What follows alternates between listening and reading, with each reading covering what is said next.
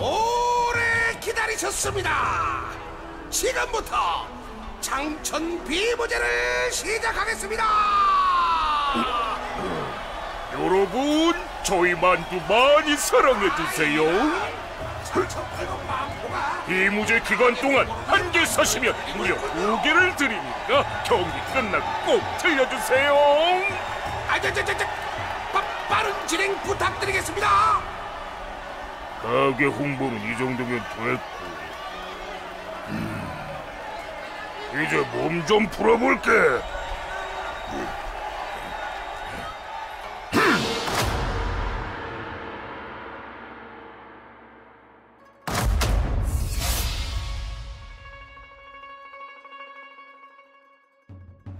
장천 발급인 마포 장천에서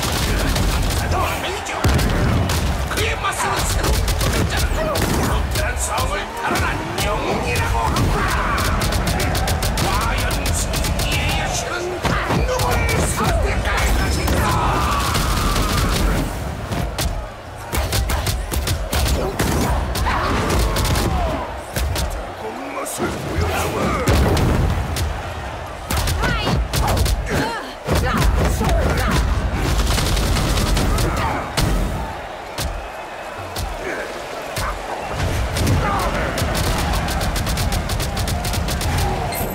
아니 저 아니 이럴 수가 청천 만두권의 대가 장천팔급 마포가 쓰러지고 말았습니다 이렇게 빨리 도전자가 승리하다니 정말 놀라운 일이군요. 오늘의 승자에게 박수 부탁드립니다